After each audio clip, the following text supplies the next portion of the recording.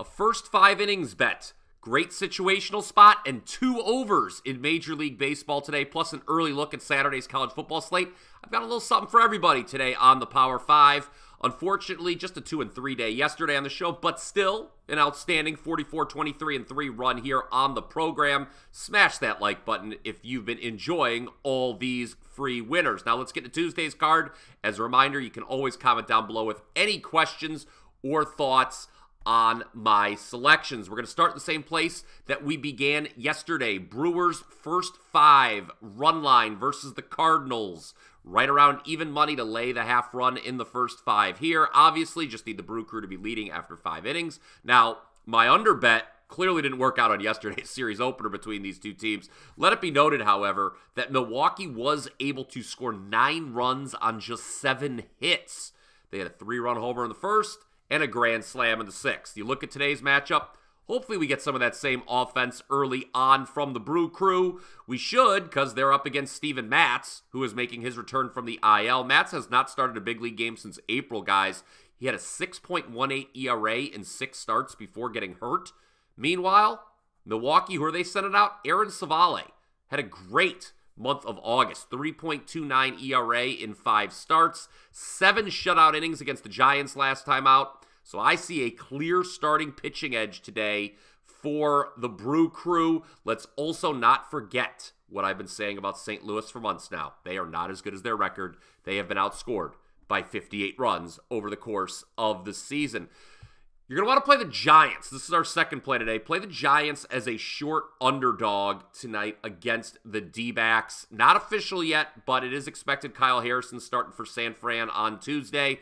If that is the case, yes, bet the G men. Harrison has a significant home versus road split in his career. ERA about two full runs lower here at home, which is obviously where this game takes place tonight. But an even better reason to bet the Giants here is from a scheduling perspective. They had Monday off. While the D backs were finishing a wraparound series with the Dodgers, they lost. Gave up a lot of runs in that series. Uh, it's a key edge for me, the day off for San Fran, so I'm backing them here. I'd even play them uh, as short favorites up to minus 115, minus 120. All right, we also want to look at the over seven and a half in Mariners A's, our third play today. If you caught the morning wager yesterday with myself and Mark Zinno, then you know I was wrong when it came to betting the under in yesterday's series opener between these two AL West rivals. Note, it was the only pick between the two of us that we got wrong on yesterday's edition of the Morning Wager. Uh, anyway, back to this show, back to the Power Five. Uh, in addition to that result yesterday with the game going over, there's two things that have me pivoting towards the over for today's matchup between Seattle and Oakland. One is Seattle starter Luis Castillo has significantly worse numbers on the road than he does at home. That's true for basically everyone in this Mariners rotation, but Castillo seems to have among the sharpest splits in the group. Then he got JT Ginn going for Oakland.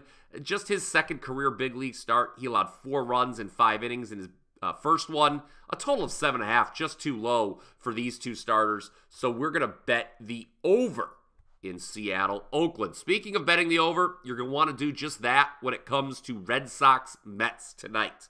Although Boston has been held to exactly one run in three consecutive contests, all losses, obviously. Uh, for the season, they've scored more on the road than they have at Fenway. And while the Mets, they've allowed three runs or fewer in four consecutive games, all wins, and have won the last five starts made by David Peterson, I don't care. Peterson, I've said it before, and we're going to say it again now. He is perhaps the biggest negative regression candidate in all of baseball when it comes to starting pitching. He's got a 2.83 ERA against a 5.12 expected ERA. So I'm going to continue to find ways to fade him moving forward. But the problem for Boston in this matchup, and this is why I'm not taking the Red Sox as a small dog, well, it's twofold the problem. One is they're starting Kutter Crawford who has been awful in the second half, allowing over three home runs per nine innings. He's gotten that under control. Ouch, that is atrocious. Uh, he's, you know, gotten that under control a little bit uh, his last few starts, but I'm not buying Crawford in this spot, nor can I buy a Red Sox bullpen that has been dreadful ever since the All Star break. Runs will be scored in this matchup tonight, over eight on the Mets and Red Sox. Okay, I'm going to get to my college football lean in just a moment, but first, I want to let you know that right now at wagertalk.com, you can get a three day all access pass for only $49. Considering that I've won 67% of my premium plays over the last 10 days, that's in addition to the success we're having here on the Power 5. Three days for only $49 sounds like a pretty good deal to me, gang. You can choose as many different handicappers as you'd like as well, not just me. So you can take advantage uh, and get three days for $49 from as many different of the great handicappers we've got at wagertalk.com uh, as you would choose. We're also giving you the freedom to choose when you want that three day all access to start. So if you want to wait until Friday so that you can get both Saturday college football and Sunday NFL, go ahead. Just go to WT.buzz slash BP to take advantage of this incredible three day offer. Again, just $49 for three full days of winning selection. That's a $20 savings. Okay, speaking of football, moving forward here on the Power Five, my plan every Tuesday is to give you an early college football lean just maybe a situation or a line that caught my eye for the upcoming weekend. Today, it's going to be Northern Illinois plus the points against Notre Dame. Shop around. You should be able to find a line higher than four touchdowns in this one. Look, the Fighting Irish are going to win the game. We know that, okay? It's Northern Illinois they're playing. But it's a total letdown spot for Marcus Freeman's team. After that big win against A&M last Saturday, cheap plug, yours truly, cashed the first half under in that Notre Dame A&M game. But you look at the point spread here, it's massive. Northern Illinois has covered five straight road openers, including outright upsets over both Georgia Tech and Boston College in the last three years. They put up 54 points and over 700 total yards last week, albeit against an FCS team. I just think the Huskies can stay within four touchdowns of Notre Dame. Classic, classic letdown spot for the Fighting Irish. So take the points in that one. All right, let's recap the Power Five, shall we? Number one, Brewers, first five, run line versus the Cardinals. Should be around even money to lay the half a run in the first five. Number two, Giants against the D backs. This line not official at most books yet, but the Giants, they should be around even money, maybe a short dog. I'd play them up to minus 115, minus 120 because the situation that I went over. Number three, over seven and a half. Mariners A's would play that up to eight. Number four, Red Sox Mets over eight would play that up to eight and a half.